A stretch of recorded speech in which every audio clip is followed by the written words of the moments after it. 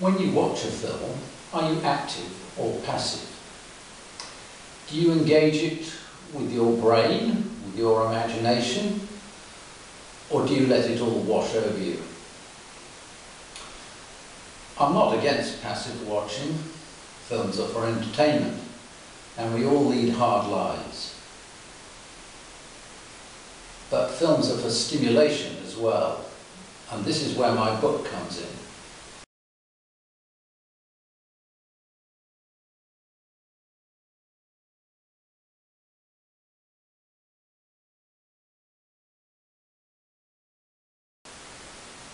The title of my book is Film Past, Film Future.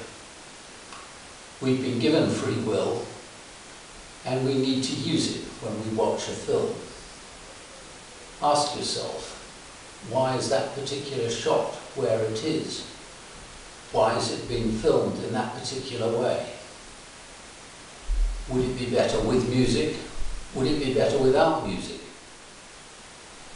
As you watch, there are dozens of questions to ask.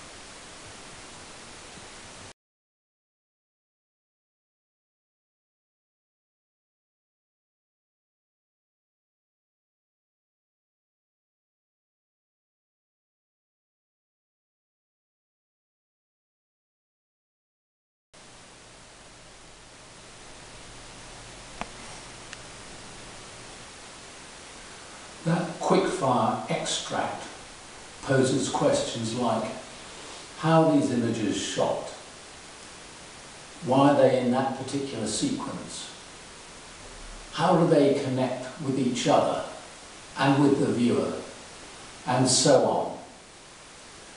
It feels like the elements are being manipulated, and the viewer too.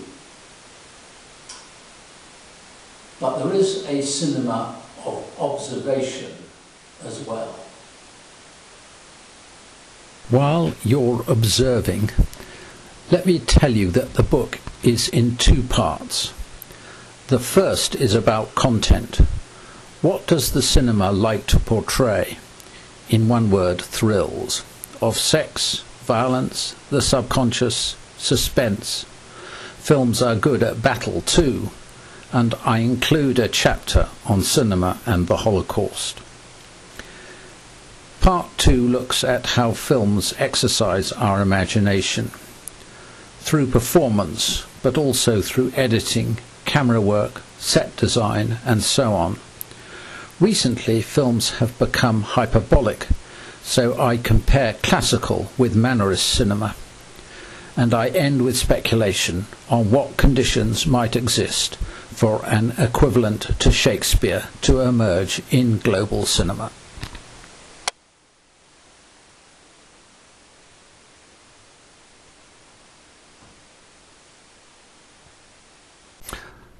So here are some film stills to give you some idea of the range of films covered.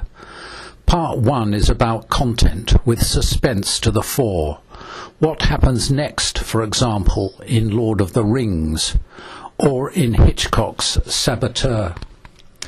The pianist has suspense of a different kind. We know the pianist survives, the suspense is in the how. Next, the erotic.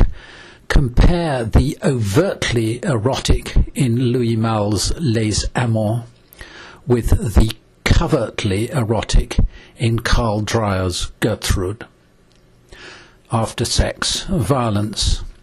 Family violence in Anthony Mann's The Man from Laramie. Biblical levels of violence in Eastwood's Unforgiven. Real gangsters in Hawks's Scarface. A pretend gangster in Godard's Breathless.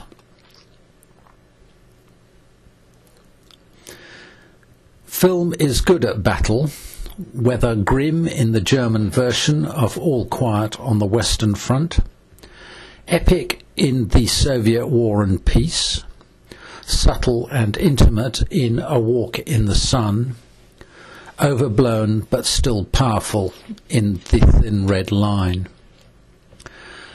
I have a long chapter on cinema and the Holocaust, covering a lot of films, including Schindler's List, Lanzmann's massive Shoah, and also Edgar Reitz's Die Zweite Heimat, a fascinating exploration of 1960s Germany and its dark past a generation earlier.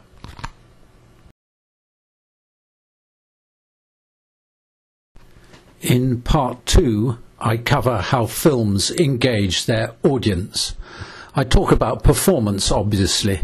For example, Falconetti in The Passion of Joan of Arc Robert Bresson's involuntary expressive, and then the voluntarily inexpressive Lino Ventura in Second Breath, Sarah Pickering in Christina Edzard's Little Dorrit, Ethan Hawke and Julie Delpy in the Conversation film. Next comes ways of telling stories. Cross-cutting in Griffith's Intolerance. Only Angels Have Wings is an action film made in the studio. There is Eric Rohmer's marvellous evocation of the French Revolution.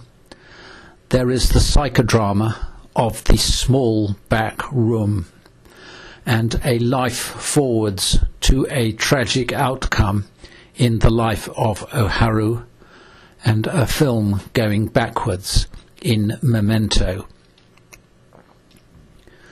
Time is of the essence in the cinema.